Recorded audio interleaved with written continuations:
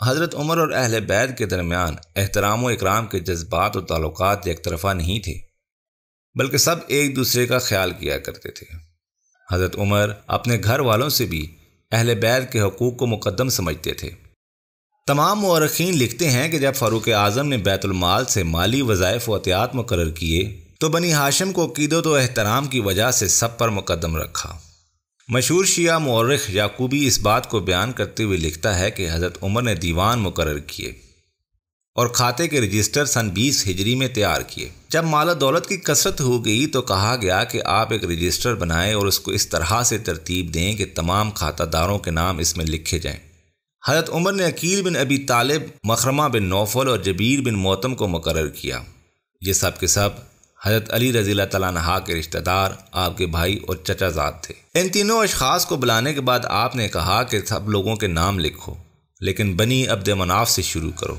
इस तरह आपने अली बिन अबी तालब को पाँच हज़ार, हसन बिन अली को पाँच हज़ार और हुसैन बिन अली को तीन तीन हज़ार दरहम मुकर किए। बदरी सहाबा के लिए दो दो हज़ार धर्म मुकर किए गए, मगर हसन और हुसैन को इस बिना पर कि आपकी कुराबत नबी अक्रम सल्लल्लाहु वसल्लम के साथ थी, आपको आपके वालिद का हिस्सा, यानी हज़रत अली का हिस्सा भी दिया गया। इस तरह से हज़रत हुसैन, हज़रत हसन और हज़रत अब्बास रज़ी तहा को पाँच पाँच हज़ार दहरम मुकर किए गए और इन तीनों अशखास को बदरी सहाबा पर तरजीह दी गई। इसी वाक़ को शिया मौरख बलाजरी, यहिया बिन आदम और तराबलसी वगैरह ने जाफ़िर बिन मोहम्मद बाकर मोहम्मद बाकर, अब्दुल्ला बिन हसन और अली रज़ी तहा बिन अबी तालब के हवालों से बयान किया है और लिखा है कि उमर ने अली के लिए एक हिस्सा अलहदा किया।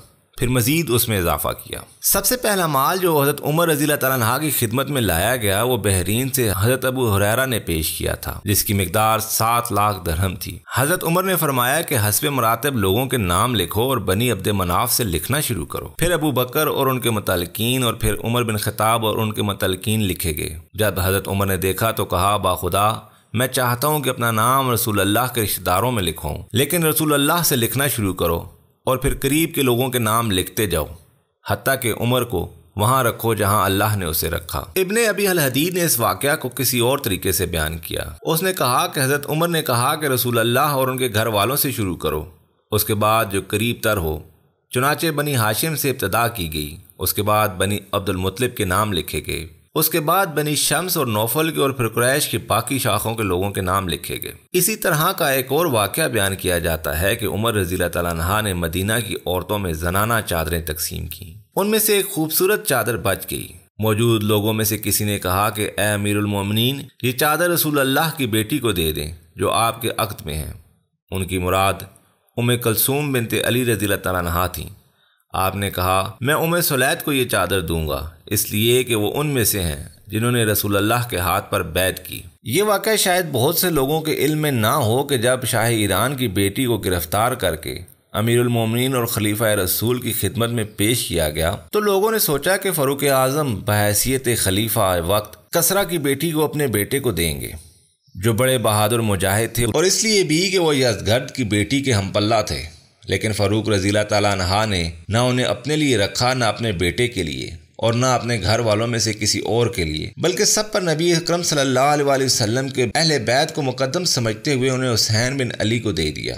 उन्हीं से अली बिन हुसैन यानी हज़रत इमाम जैनआबदीन पैदा हुए, जो करबला में बच जाने वाले वाहिद फ़र्द थे।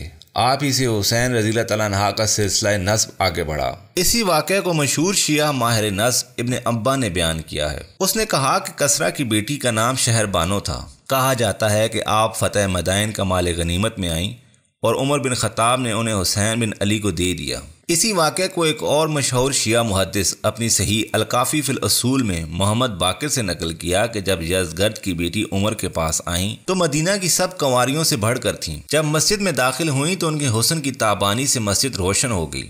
वो कहने लगी, उफ, बैरूज बाद आए हरमज। उमर रज़ी तला ने कहा कि तू मुझे गाली बकती है और उनकी तरफ़ बढ़ना चाहा। तो अमीरमिन को कहा गया कि आपको ऐसा नहीं कहा। इसे मुसलमानों में से अपने लिए कोई आदमी चुन लेने का अख्तियार दीजिए। आपने शहरबानों को इसका अख्तियार दे दिया। वो आई और अपना हाथ हुसैन के सर पर रख दिया। अमीरमिन ने उनसे पूछा, तुम्हारा नाम क्या है? उन्होंने कहा, जहाँ शाह। फिर हुसैन से कहा, ए अब्दुल्ला ये तुम्हारे लिए रूए ज़मीन पर बेहतरीन बच्चा जन्म देगी। चुनाचे आपने अली बिन हुसैन, इमाम जैन को जन्म दिया। इसीलिए इमाम जैन को इब्न अखिरतैन बेहतरीन माँ और बेहतरीन बाप की औलाद कहा जाता है। अरब में से बेहतरीन हाशिम है और अजब में से फारिस। हज़रत उम्र फारूक हमस और माल गनीमत सबसे पहले अहल बैत में तकसीम किया करते थे। ऐसा ही हज़रत अबू बकर किया करते थे और बाद में इसी तरीक़ाकार पर हज़रत अली रज़ी तहा चले। अबू बकर रज़ी तहा फिदे के गला में से इतना माल अहल बैत को दे दिया करते थे जो उनकी ज़रूरत के लिए काफ़ी होता।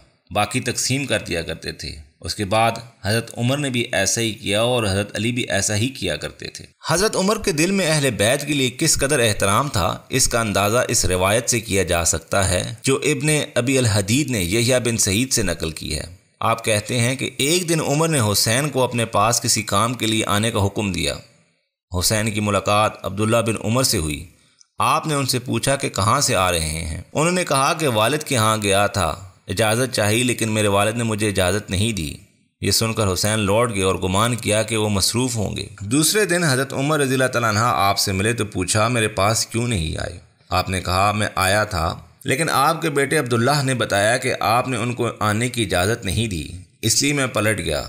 उमर ने कहा कि आप मेरे नज़दीक उस जैसे हैं, आप आते तो मैं कैसे इजाज़त ना देता? अली बिन हुसैन रज़ी तहा अपने वालद हुसैन बिन अली रज़ी तहा से रिवायत करते हैं कि उमर बिन अलखताब रज़ी तहा तमाम बनी हाशिम के बारे में कहा करते थे। बनी हाशिम की इयादत करना सुनत अदा करने और उनकी जियारत नफल अदा करने के बराबर है। तूसी और सद्दूक ने लिखा है कि हज़रत उमर किसी आदमी से हज़रत अली के मतलब कोई नारवा बात सुनते और ना बर्दाश्त करते थे। एक दफ़ा उमर की मौजूदगी में किसी आदमी ने हज़रत अली के बारे में कोई नारवा बात कह दी। तो आपने हजूर सल्ला वसम की कब्र मुबारक की तरफ़ इशारा करके फरमाया का इस साहिब कब्र को जानते हो? जब भी अली का ज़िक्र करो, खूबी के साथ करो और अगर इन्हें तकलीफ़ पहुँचाओगे तो इन साहिब कब्र को तकलीफ़ पहुंचाओगे।